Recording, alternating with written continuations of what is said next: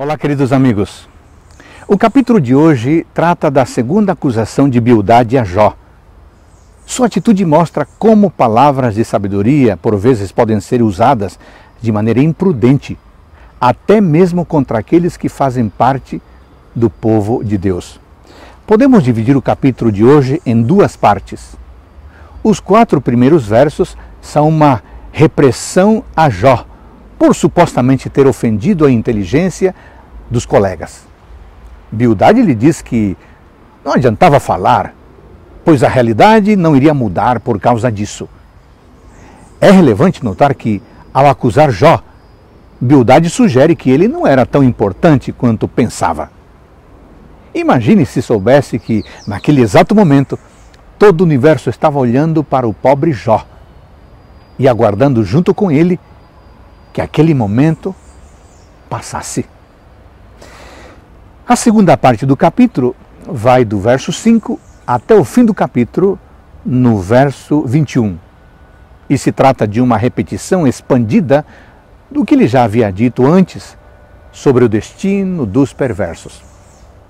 A essa altura, você já deve ter percebido que muitas vezes esses amigos disseram algumas verdades sobre Deus, sobre o ser humano, mas aplicaram mal esses ensinos, pensando que Jó era pecador e merecia ouvir tudo aquilo.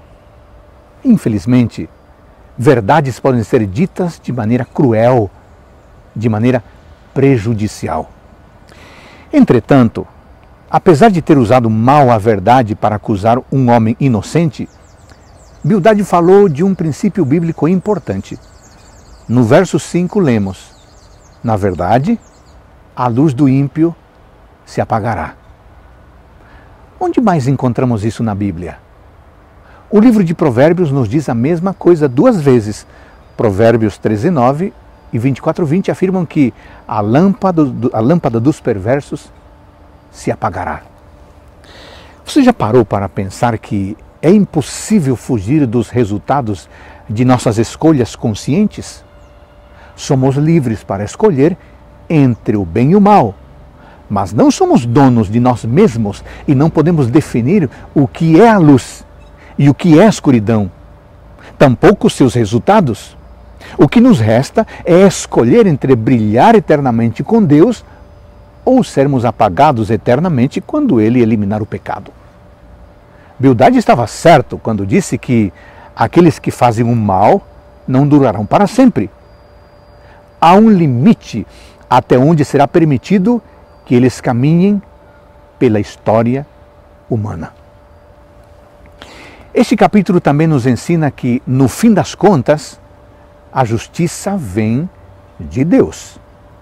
Jó respondeu depois que nem todos os perversos são castigados imediatamente, mas não se pode negar que, lá no, no fim da estrada, há um Deus justo de cujo juízo ninguém poderá escapar.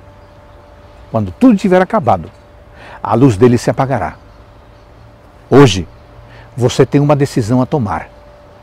Pode escolher o caminho dos perversos, que serão apagados para sempre, ou estar com aqueles sobre os quais Deus falou ao profeta Daniel, afirmando que são como estrelas que brilham sempre e eternamente. Amigos queridos, a luz dos que escolhem ser sábios e conduzir outros à justiça, jamais se apagará, pois ela vem do trono de Deus, que é eterno e jamais poderá ser abalado. Que neste dia essa luz brilhe sobre você e sua família. Amém.